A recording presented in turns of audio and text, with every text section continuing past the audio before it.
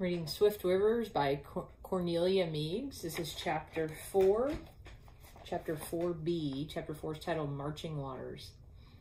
Chris looked back as they came through the mouth of the river and slid into the wide reach of the Mississippi. It was full daylight now. One of those clear summer mornings on which it seems that one can see for an infinite number of miles. It would be hot later. The sky was pale, and the pale, creamy clouds, piled high and rolling, were scarcely distinguishable against the faint blue. The boy could see afar, up a great length of the course of the Goosewing River, to where the green hills began to rise, and to the faint distant looming of the higher range within whose folds lay his own valley.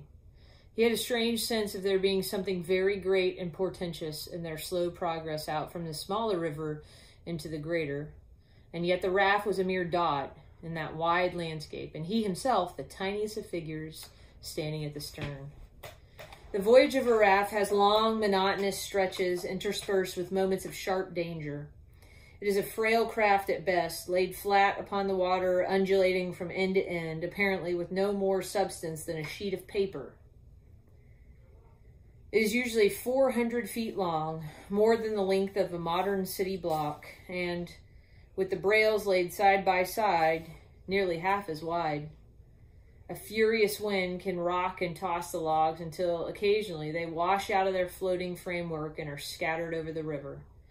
There are long chains of rapids where it has happened to more than one pilot, sliding downward with the angry water to run afoul of a sharp reef and rip his craft from end to end, sending the logs swirling over the face of the whole stream, perhaps never to be gathered again. Con O'Blins, a genial cook, said to Stuart and Chris, it is a job to break your heart trying to get a raft together once it's been broken up. Every man on the river wants to ship with a good pilot who won't get his crew into such a jam. They all try their best to get work under Pierre Dumenil, he added in a whisper, or with Joe Langford. Dumenil was not to take the logs all the way to St. Louis, it was revealed. Canny Shreve McLeod, making the most of his two good pilots, who would not meet, used Pierre for the most part on the upper reach of the voyage, and let Langford take over the task for the last half of the way. Joe Langford was ahead of them now, setting out from Prairie du Chien for the first run of the season. Later, he would take command after Dumenil had brought them below the great barrier, barrier of the first rapids. Not only did the valley of the great stream wind southward with never a straight mile anywhere, but also the current and the channel went back and forth between the banks with an infinity of twists and turns. This channel, ever floating craft must this channel every floating craft must follow, even though the shallow draft of a raft gave it a little more freedom than had the deeper keel boats.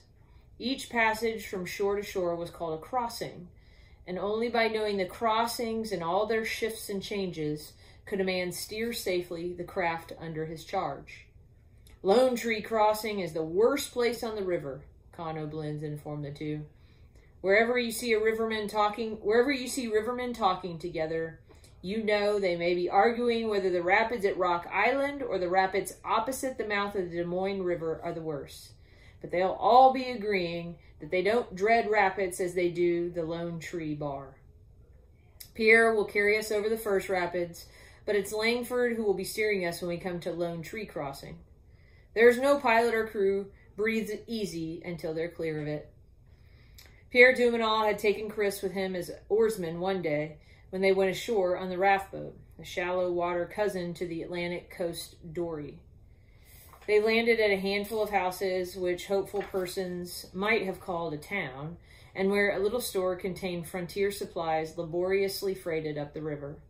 They bought food and quinine from a small, whining man, perpetually complaining of the bad times. His wife was a comely woman with a tired, sensible face. She packed up the purchases which Pierre had made and, while doing so, held a whispered colloquy with her husband in a corner. The man, unwilling to do something which his wife was urging, presently raised his voice in alarmed remonstrance. You'll get us in trouble, Deborah, if you go talking about things you've no business to. Deborah, however, driven evidently by conscience, was not to be silenced. Since her husband would not speak, she came forward to address Pierre Dumenil herself. There was a raft passed down last week, the first that came this season, starting from Prairie du Chien. Isn't that a hundred miles below the Goosewing? Her pilot was was once a friend of friend of yours, Pierre. It required a braver person than the little storekeeper to face the hard stare which Pierre Dumenil bent upon her. But with the persistence of a woman following her sense of right, Deborah went on determinedly. Joe Langford was sick, dreadfully sick, when they brought the raft inshore and asked if they could carry him up into our place to lie in a bed for a few days. I did what I could for him, but he was in one of those wasting fevers that just go through with their course and no one can stop them. He was out of his head, or they wouldn't have been able to get him to leave his raft. He lay here raving for three nights and he kept calling for you, Pierre, for you, all the time. He got a little better finally, and there was no keeping him here once he could leave his bed. He looked to me like a man sick to death, but he would go on. I I was certain you ought to know, Pierre Dumenil, though I know you don't thank me for telling you. Dumenil's French politeness did not allow him to be rude to a lady, even though she was a backwoodsman's wife in, in a linsey woolsey dress and a denim apron. You have done what you thought you ought to, he said to her in a tone which held no hint of expression. But now that your duty is performed, we need say no more. Without a backward glance, he walked out of the store and made his way to the boat lying on the shore. He did not speak for some time, but finally, when they were halfway back to the raft, he made some observation to Chris in his ordinary voice, and from that time on talked to him of water and currents, all the small matters of life on the river. Neither then nor later did he make reference to what the conscientious Deborah, the conscientious Deborah had said to him. Although Chris Dahlberg was technically the owner of a large portion of the logs which they were carrying southward with such care, not one of the crew treated him other than as a raft hand, a young and inexperienced one who had much to learn.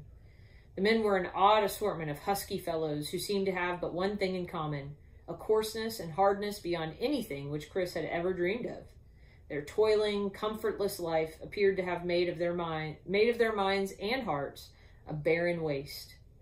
From their talk, it was to be gathered that their only thoughts were concerned with the end of the voyage and the joys of flinging their wages broadcast in a brief space of glorious freedom before they were penniless and must set to work again. They talked much, all of them, of the one or two stopping places which their course afforded. The two stretches of rapids could only be passed under proper conditions of weather and water. We always tie up for a bit when we go get to the Rock Island Rapids to wait for the winds to be right, Jacob Wolf told the two boys. And the Des Moines Rapids, too, might hold us up for a while at Montrose. That's the time when a man can look forward to a little pleasure ashore. Chris wondered often whether Stuart Hale would endure for long a state of things which seemed exactly calculated to arouse his fretting impatience. Dumenil ruled with iron discipline. His orders were quick and must be instantly obeyed. The work was heavy. The food was coarse. There were days when the blaze of the sun above the reflected glare from the water made the heat almost unbearable. The crossed raft lines, which held the whole structure in its proper shape, were prone to stretch, so that there was con constant labor at the winding, the heavy windlasses to keep them taut. There was no real dullness, however, in a journey which was always on the point of a turning corner into a new scene of adventure amongst the islands and sandbars. And the evenings and the summer nights made up for anything which the day might bring.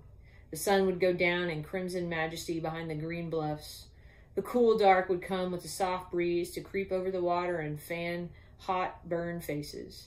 The canopy of stars would hang splendidly overhead, with a rippling pattern of their brightness reflected in the water below. The voice of the river, never so audible by day, could be heard deep and commanding as the huge body of water, carrying the tiny speck of the raft along with it, went marching past the silent forest and never resting pilgrimage. Stuart and Chris, lying side by side with their faces to the sky, would talk in whispers, while their comrades sprawled in ungainly attitudes of slumber all about them. Pierre Dumenil seemed, indeed, to require only half the amount of slumber that another man would take. Chris always thought of him, afterward, afterward, as he used to see him on those soft June nights, standing erect in the stern, with his eyes fixed far away, a magnificent bronze statue against the stars. As their journey progressed, some of the boats which they met would lie alongside for a little to exchange talk and tobacco and to compare notes on the upper and lower portions of the channel. The boys began to hear more and more of that next hazard which they were to pass, the chain of rapids at the foot of which the big rock uh, of which lay the big rock island. Pierre Dumenil asked anxiously of every man with whom he could get speech what was the stage of the water on the rock island reefs. It was going down, each one told him. As the reports gave it as falling lower and lower, the pilot's face became increasingly troubled. The last man with whom they spoke, a trader paddling a canoe northward, gave the most discouraging report of all. This raft of yours makes four that started from places on the Miss Mississippi south of the Goosewing and gone down this season. Only one got over the rapids. The two that followed don't dare run farther and are tied up at the banks above the rock island. The men are all waiting, idle, for a rain to come. Chris had an opportunity to speak to him in an undertone just before he cast loose. Was one of those rafts that are waiting? Was one Joe Langford's? The trader shot a cautious glance all about lest Pierre overhear. All the river, it seemed, knew what it was to speak that name in Dumenil's presence. No, he replied for Chris alone. Joe's was the first raft and he went over. They say he was sick, but wouldn't give up, for all his men could say to him. I met him just as he was swinging out on the rapids, and I'm sure he got past them safe. He and Pierre are the only two who would have dared such a thing in this low water. It was the next day that the voyagers dropped round the final bend and came within sight of the rapids at last. At the foot of them, long and low, lay a great island with shores of white stone. The smoke of an Indian village went up from a green headland on the eastern shore. But on the west bank were white men's cabins and a lengthy building of logs set a hundred yards from the water's edge. Two rafts, both smaller than theirs, lay moored to the bank. As they came nearer, Chris could see breaks and riffles in the water, showing where the sharp reefs stretched below the surface. Some of the rocks lay bare and dry in the hot sun, their jagged outline giving hint of what dangers were hidden just beneath the water. It was not a stretch of tumbling foam and whirlpools as rapids are in a smaller stream. The Mississippi is too big for that. It was a faintly discernible slope, many miles long, broken and crisscrossed and interlaced with sinister dark streaks where a huge rushing current fell from pool to pool over sharp-edged barriers of upturned rocks. The old Mississippi showing her teeth, commented Con O'Blins. There was running and shouting and the splash of the sweeps in the water, for the raft was to come to land for the first time since they had set out. The men were wild to get ashore. All along the bank were loud calls of greeting from friends on other rafts, whose crew were waiting in noisy idleness for the water to rise. Pierre Dumenil, however, kept all of his men busy, tightening up lines and warping the great craft into exactly the right mooring, so that it was evening before they were free. For once, they were unexcited by the announcement. Grub pile, and could scarcely wait to bolt the supper which Con set before them. The goal of their anticipation was the long building which bore the ominously hospitable sign, Mike Shannon's Place. Come in. Stuart and Chris were also looking forward to the opportunity of stretching their legs on dry land once more. There were a few last duties still to be performed, however, and these they stayed to finish while the rest of the crew went hurrying over the side and scrambling up the bank. But Con O'Blins, clearing up after the hasty supper, spoke to the boys in friendly warning. If I was you, I wouldn't go ashore tonight, he advised. A place like this, with a gang of idle rafting crews in it, makes about the toughest spot you could ever hope to find. There's many a one who wasn't on to the ways of things that's been found in the morning with a split head, and his pockets empty. Not that they're really a bad lot, he made haste to explain, but it's just that they fall out with strangers when they're drinking and excited like.